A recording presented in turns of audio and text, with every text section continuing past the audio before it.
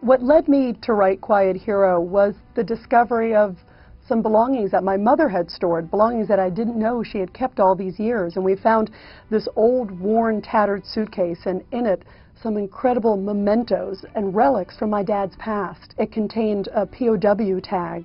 It said Stalag 4B with the prisoner number 305147, and I was looking at this rusted tag saying, who is this person? And then I saw an ex-POW prisoner card, and I realized this all belonged to my father.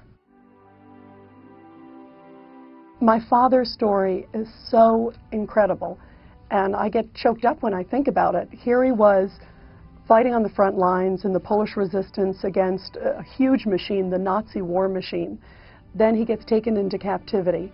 He gets sent to a camp in Germany with a shirt on his back at gunpoint. And after months of starvation, he's 90 pounds. And at 90 pounds, he escaped. And there he was in the woods.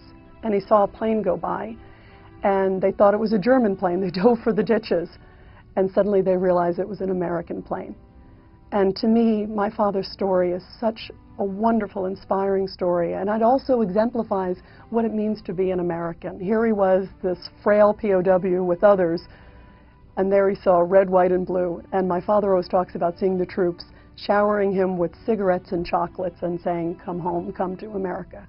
Was a great moment. This was truly the most incredible story of my life. This has not just been a book. This has been a true journey.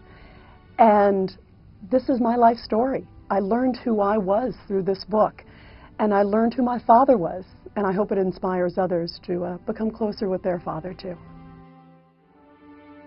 The most surprising thing I learned while writing this book about my father was how courageous he was his family could have bought him out of Poland. They could have helped him escape out of the country, escaped war. And here he was just a teenager, and he said, no, I would rather die with friends than live with strangers. And I'm just so in awe that here is this man, this hero, living at home with me, and I, I didn't know it all these years. I picked the title Quiet Hero because there are so many silent heroes out there. Maybe they're your parents, maybe they're your neighbor, maybe they're your teacher. There's certainly people who are in the military. And I hope that this book inspires others to look for heroes, everyday heroes in their own lives, and prop them up. We're going through tough times with the economy and so many other things. And I think this is a moment where we as America can lift up and really salute those courageous people, people in our own backyard.